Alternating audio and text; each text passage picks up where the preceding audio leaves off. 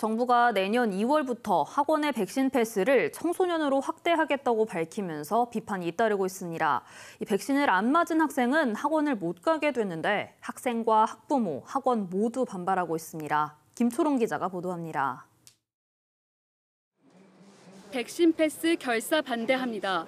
자신의 고등학생이라고 밝힌 사람이 쓴 청와대 국민청원입니다. 백신 패스는 백신 접종을 강제하는 것으로 헌법에 어긋나는 위헌 정책이라고 주장합니다. 개시 10여일 만에 동의자가 25만 명이 넘었습니다. 춘천 도심 한복판에도 비슷한 내용의 현수막이 내걸렸습니다. 이렇게 현수막에는 백신 접종과 백신 권유가 인권 침해라고 적혀 있습니다. 이 같은 비판의 직접적인 발달은 백신 패스를 청소년까지 확대하겠다는 정부 발표였습니다. 이렇게 되면 백신을 안 맞은 학생들은 학원에 못 가는 사태가 속출할 수 있기 때문입니다.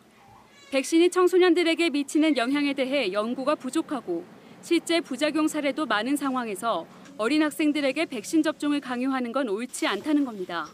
강제로 맞았을 경우에 내 아이가 잘못되면 이걸 어떻게 해결을 해줄 거고 어떠한 책임을 뭐 책임을 져줄 거냐.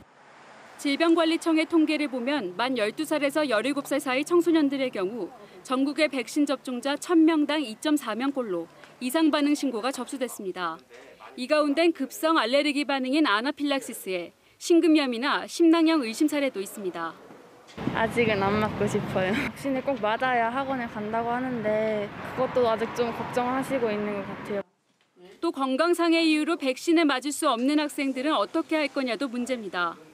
우리 아이는 기저질환이 있는데 이 자기는 그 아이에게 그 백신을 맞힐 계획이 없다. 학원에서 감히 뭐 어떻게 하라고 할 수 있는 요인도 아니고 이 같은 반발에도 불구하고 정부는 백신 패스 청소년 확대 적용을 내년 2월부터 시행하겠다는 방침을 굽히지 않고 있습니다.